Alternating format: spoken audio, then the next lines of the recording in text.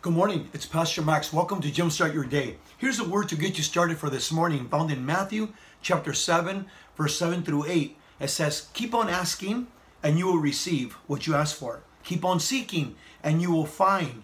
Keep on knocking, and the door will be open to you.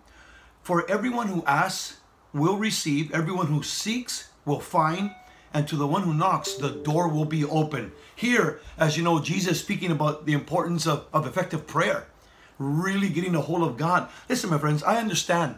I know that life's getting busier. It seems like we're getting busier.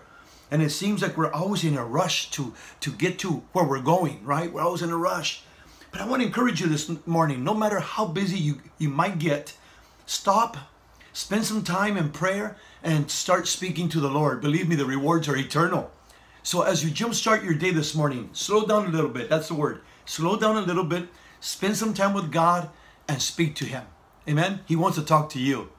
Amen, my friends. God bless you. Please share this devotion with a friend. Hit the like button. Subscribe to our YouTube page. And listen, take some time. Speak to God this morning.